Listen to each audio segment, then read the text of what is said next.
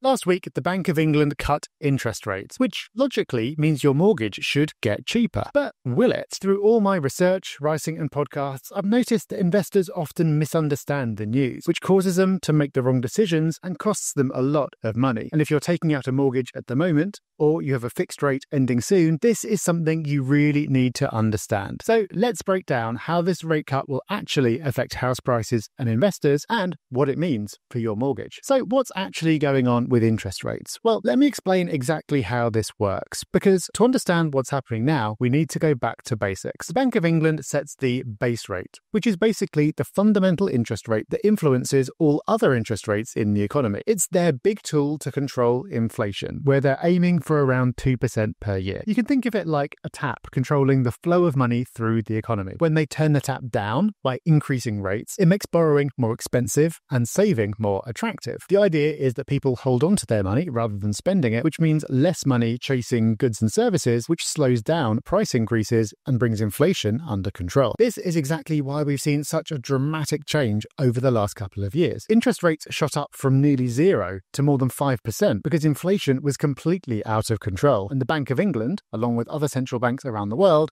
had to slam on the brakes. Now, in theory, when they turn the tap up by cutting rates, the opposite happens. It becomes cheaper to borrow and less rewarding to save, which should encourage people to spend and invest. If you're a property investor looking to expand your portfolio, lower rates means it's easier to make the numbers work on your next purchase. The same goes for business owners. When rates are lower, it becomes more attractive to borrow money to invest in new machinery or expand operations. But here's where it gets tricky. If the Bank of England cuts rates too far or too fast, all this extra spending and investment could end up sending inflation sky high again. It's like a constant balancing act. They need to cut rates enough to keep the economy moving, but not so much that we end up right back where we started with inflation out of control. And to be honest, while this might all sound perfectly logical on paper, the real world isn't quite so simple. Property prices, mortgage rates, business investment, they don't always react the way textbooks say they should. There are actually lots of other factors at play that can completely change how this works in practice. And this is something we've seen recently when it comes to house prices. In theory, falling interest rates are great news for anyone who owns property. When interest rates fall, mortgages get cheaper, and that affects the market in two important ways. First, more people suddenly start thinking about buying a home or investing. When rates are lower, the monthly payments seem more manageable, so you get more buyers entering the market. Basic supply and demand tells us that more buyers usually means upward pressure on prices. But there's a second effect that a lot of people don't think about. When interest rates are lower, buyers can actually afford to borrow more money for the same monthly payment. And sellers know this. They know that buyers have more firepower,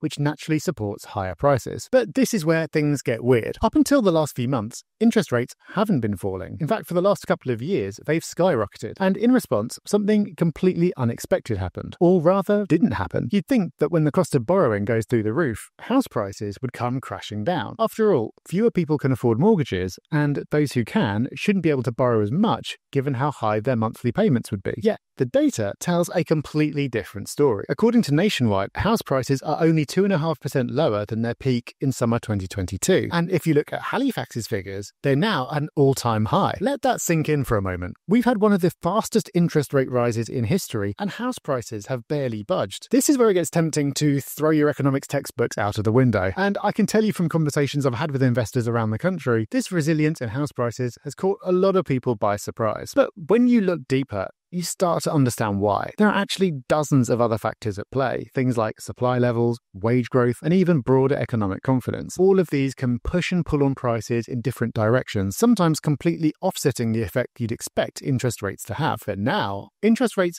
aren't increasing anymore. They're on their way down. And once again, that's not necessarily having the effect that you think it should, in particular when it comes to mortgage rates. So now the Bank of England has cut rates again, leaving them half a percent lower than they were at their peak. Does that mean your mortgage is about to get cheaper? Well, for about 20% of property owners, the answer is yes. For everyone else, it's a little bit more complicated than that. Let me explain exactly what's going on. Around 20% of people with mortgages in the UK are either on tracker mortgages, which are priced at a set margin above the Bank of England's base rate, or on variable rates, where lenders can change the rate whenever they want, but generally follow the direction of the base rate. For these people, their monthly payments have already started coming down. But the other 80% of people are on fixed rate mortgages. Now, you might think that even though their current payments won't change, surely new fixed rate deals will get cheaper now the bank has cut rates? Well, not necessarily. And to understand why, we need to get a little bit geeky about how the mortgage market actually works. You see, when a lender offers you a fixed rate, they're not just thinking about interest rates today, they're trying to figure out what's going to happen over the next few years. And to protect themselves, they use something called the swap market, which is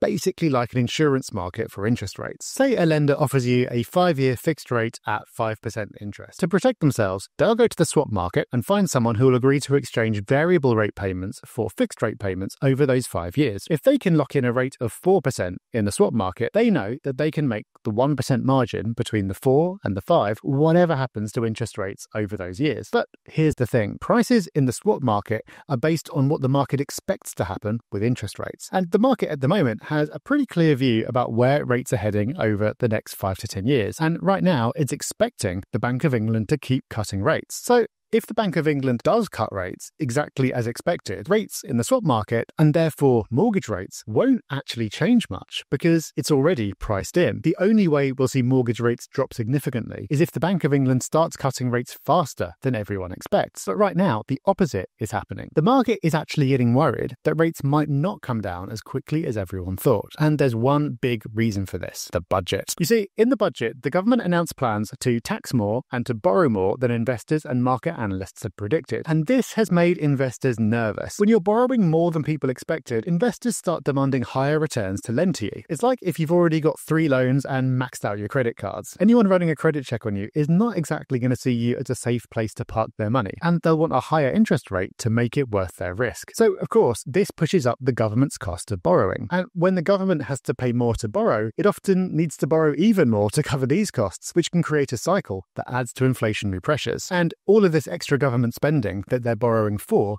might also push inflation higher than expected. Think about it. When the government borrows and spends more money in an economy that's already running pretty hot, they're competing with everyone else for workers and resources. This pushes up wages and other costs, which feeds right back into inflation. And what does the Bank of England do when inflation is stubborn? That's right, they're less likely to cut rates as much as everyone hopes. To give you a real example of the effect this has, let's look at the five year swap rate. A month ago, before the budget, it was sitting at about 3.8%. Now it's jumped to nearly 4.1%. And remember, this is what lenders use to price their fixed rate mortgages. So, what does all this mean if you're looking at getting a mortgage for a new purchase or if your current fixed rate deal is coming to an end? Well, I've been speaking to mortgage brokers across the country, and they're telling me that based on what we're seeing right now, the most likely scenario is that mortgage rates are going to stay pretty much where they are for the next little while. On the one hand, you've got the falling base rate. On the other, you've got worries about higher borrowing and potential inflation, and it all balances itself out. But there's a good chance that we'll see better deals coming through as we move into 2025.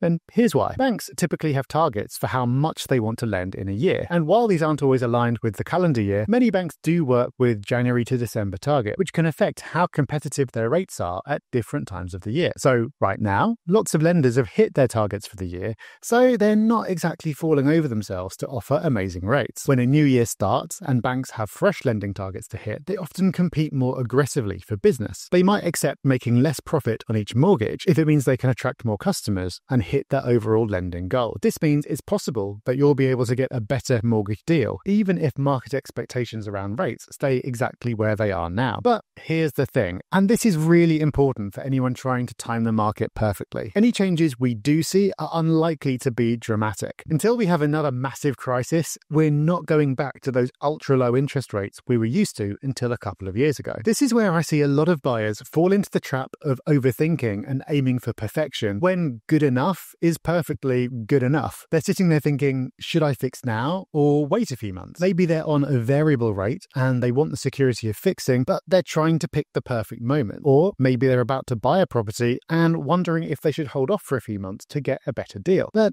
Here's the reality. It's impossible to perfectly predict what will happen with all the different factors involved in mortgage pricing. And even if you could, it's not going to make or break your investment anyway. If you fix now, yes, there's a chance that rates might be a bit lower in a few months' time, but the world is unpredictable and they might be higher. What's highly unlikely is that you're going to miss out on some enormous drop in rates. But you also don't need to panic and rush to secure a certain rate because it's highly unlikely that rates will shoot up from here, unlike when rates were super low, when it was inevitable that they'd go up at some point. So, what should you actually do? Well, most people, and most investors in particular, prefer the security of knowing exactly what they're going to be paying. That's why they fix their rates, even if it doesn't end up being financially optimal. And to be honest, that makes a lot of sense. I do the same thing. If you've got a mortgage offer where the numbers stack up based on the price you're paying and the interest rate you're offered today, my approach would be to just go ahead. Because after all, the asset is forever, but the mortgage is only temporary. By the time you need to arrange a new deal in two, three, five years' time, there's a good chance that rates will have come down. And even if they don't, your rental income will likely have increased, putting you in a stronger position. And then if rates do fall, that's even better. This is a great position to be in. Do a deal where the numbers work today, even if you're not punching the air with delight, and they're highly likely to be even better a few years from now. And I've seen countless investors miss out on great opportunities because they were trying to time everything perfectly when they could have just got stuck in and let time do the heavy lifting for them. But I've also seen people cost themselves crazy amounts of money because beyond just how rates work, there are countless other aspects of mortgages that 99% of investors don't understand as well as they should do, which means they lose money because they don't negotiate the best rates and they don't run the numbers properly on their deals. So check out this video next where I explain exactly how buy to let mortgages work and the big mistakes that investors don't realize they're making.